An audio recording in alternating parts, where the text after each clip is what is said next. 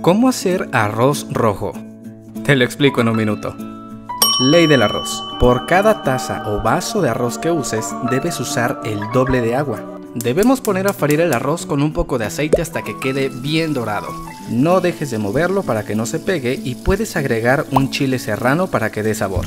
Mientras tanto, metemos a licuar 3 jitomates medianos y un octavo de cebolla sin agua. Una vez frito el arroz, agregamos lo que acabamos de mezclar en la licuadora y movemos hasta que se absorba, para después agregar las dos tazas de agua. Aquí puedes incluir chícharos o zanahoria previamente lavados y picados, además de una ramita de perejil, una cucharada cafetera y media de sal y una pequeña pizca de concentrado de caldo de pollo. Debes poner al fuego al mínimo y tapar perfectamente por aproximadamente 20 minutos. Al pasar este tiempo, usa un tenedor para separar el arroz y ver si aún tiene agua en el fondo.